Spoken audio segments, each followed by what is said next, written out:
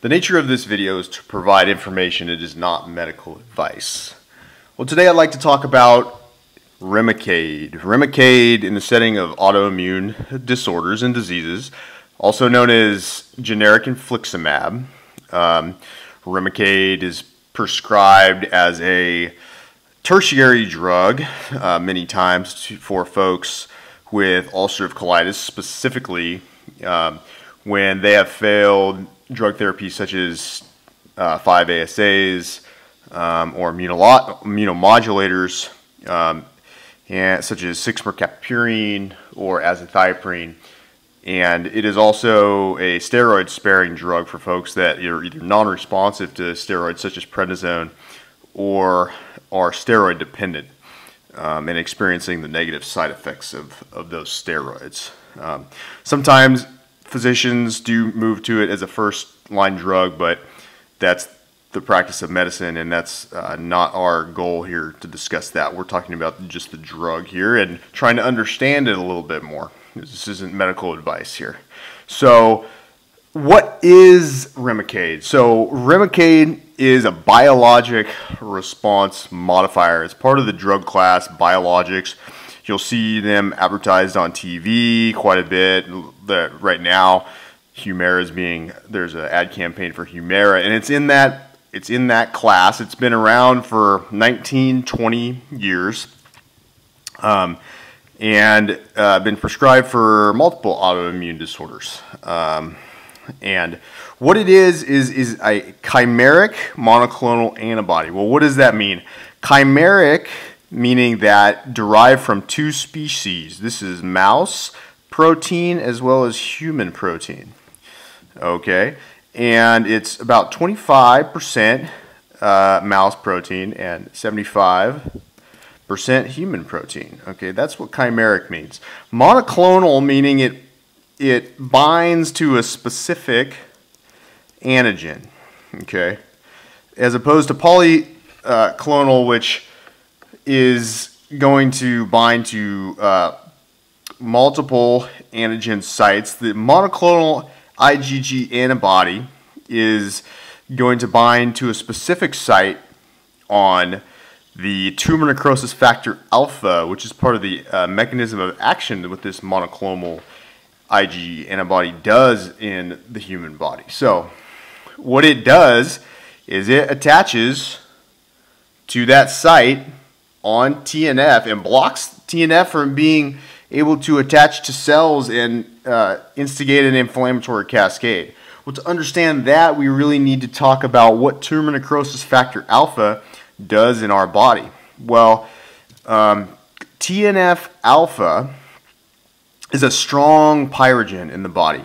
Um, it can cause fever, it uh, can cause cell death, and it is involved with um, it is involved with decreasing cancer cells in the body, um, as well as stopping viral replication.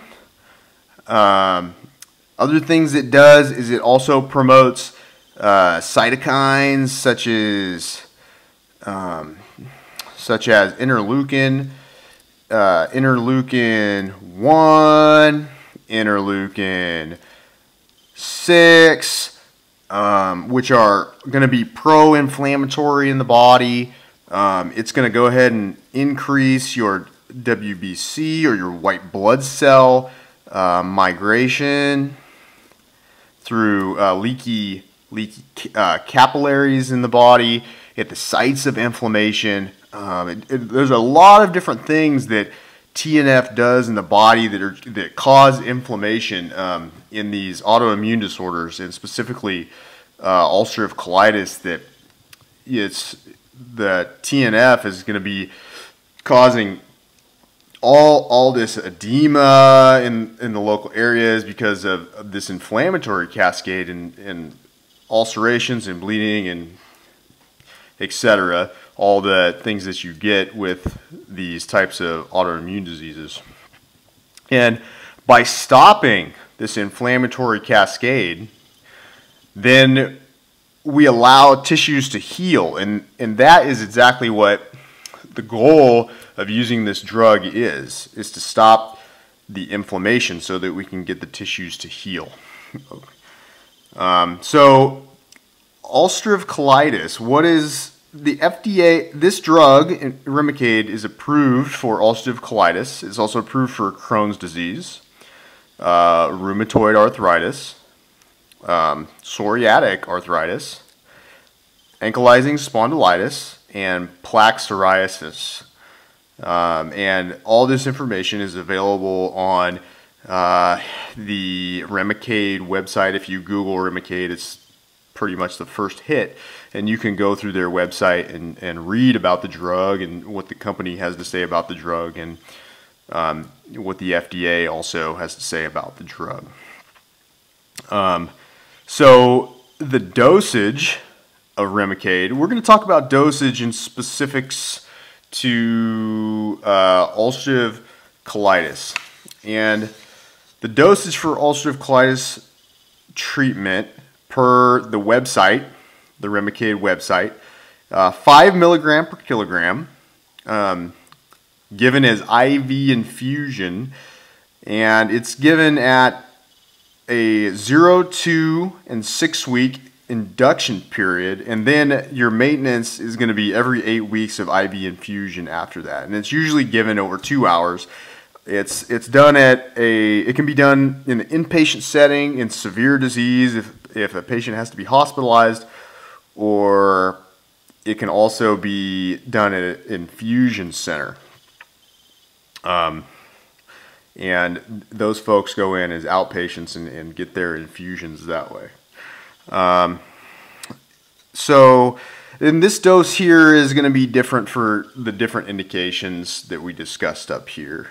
Um, so we talk about some of the uh, cautions that um, the website kind of tells us about where you want to be care where where physicians are going to want to be careful using the drug per the website um, is congestive heart failure, um, infection and sepsis. Sepsis being systemic uh, body infection, um, and and we can understand why why that would be because up here we talked about the action is, is to stop tumor necrosis factor um, inciting the inflammatory and immune response. And so we can see that it's going to go ahead, this drug puts a little damper on our immune system. So um, it, we're, the body isn't going to be able to fight infection or as well as it would um, if tumor necrosis factor alpha was activated. Um, also, lactation and murine protein hypersensitivity cost and use in. And, and murine, uh, that just means uh, mouse. That is referring to the mouse proteins that is used in Remicade. So, Remicade is a drug that is biologic class modifier used in autoimmune diseases. Uh, binds to tumor necrosis factor alpha and decreases inflammation in the body. Um, I hope this was helpful. Kind of a little bit of an overview of Remicade. And um, again, this isn't medical advice, it's just dissemination of information.